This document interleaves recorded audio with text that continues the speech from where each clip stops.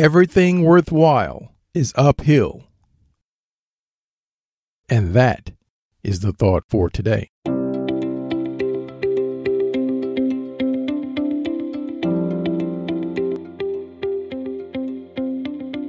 Welcome to Seven Good Minutes. I'm Clyde Lee Dennis. Thanks for joining me for what I believe will be seven of the most enriching minutes of your day. In today's audio, John Maxwell suggests three questions you should ask yourself every single day. Enjoy.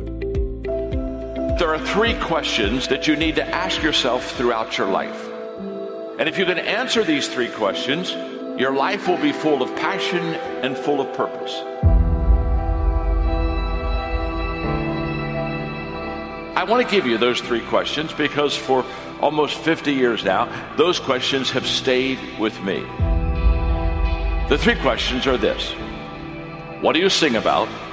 In other words, what makes you happy? What do you cry about? What is it that saddens you when you think about it? And thirdly, what do you dream about? I believe every one of you, regardless of where your dream is going to take you and what your dream is, I believe every one of you would truly like to make a positive difference in your life. You would like to make your life count.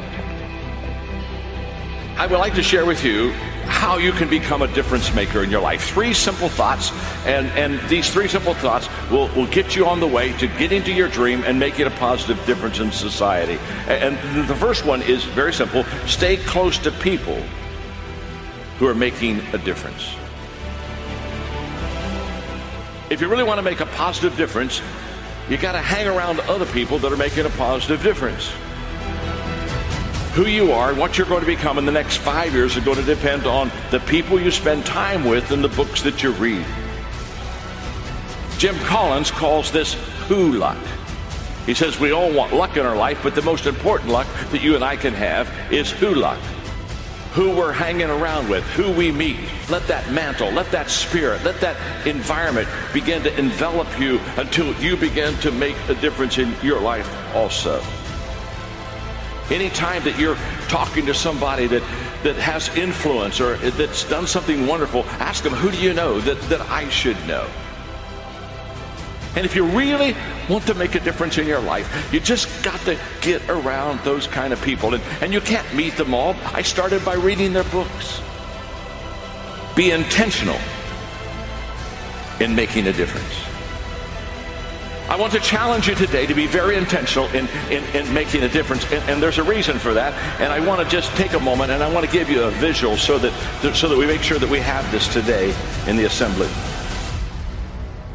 Everything worthwhile is uphill. It's the greatest life lesson I could teach you. Everything.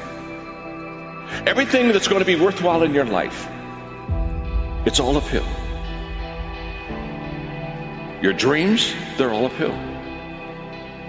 If you ever have a great relationship, it's all uphill. Everything worthwhile is uphill. And that's why you and I need to be intentional. Because you only go uphill if you're intentional. You see, most people, they don't lead their life, most people accept their life. And everything that you want, the dreams, the hopes, the make a difference part of your life, everything, it's all uphill.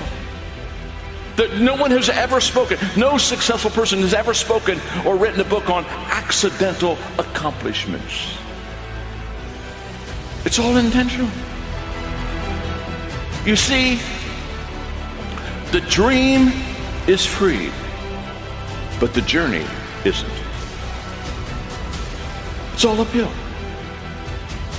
And the reason we need to be intentional in making a difference is making a difference is not easy. Doesn't come quickly. You see, here's our challenge. We have uphill hopes and downhill habits. And you can't go uphill. with downhill habits. And the only way that you and I can ever achieve the potential that we have, the God given potential. You see, your potential is God's gift to you. What you do with that potential is your gift back to God. None of us can achieve that unless we're intentional. I would encourage you to be intentional. And the third thing I want to share with you is this have a vision gap. Have a vision gap that stretches you to make a difference.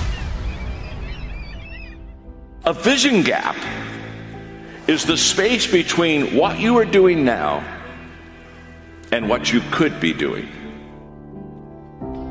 The only guarantee that tomorrow is going to get better is that you're growing today. Please keep in mind, this is about half of the entire presentation. If you're up for a treat, you should definitely listen to the whole thing. You can do so by clicking the link labeled View the Full Video on YouTube in the show notes. So that does it for this episode of 7 Good Minutes. Until next time, let's be civil to one another out there. Thanks for listening.